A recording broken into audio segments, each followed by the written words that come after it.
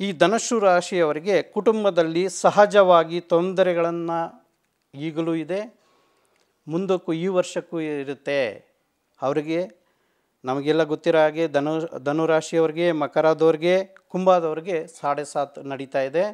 ಅದರ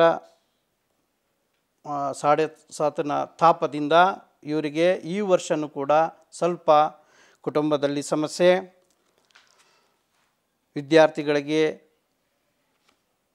ತುಂಬ ಮಟ್ಟಿನ ಪರಿವರ್ತನೆಗಳು, ನಷ್ಟ ಕಷ್ಟಗಳು ಕೂಡ ಇರುತ್ತೆ. ಇದರ ನಿವಾರಣೆಗಾಗಿ ನಿತ್ಯ ಹನುಮ ಚಾಲಿಸ ಪಠನೆ ಮಾಡಬೇಕಮ್ಮ.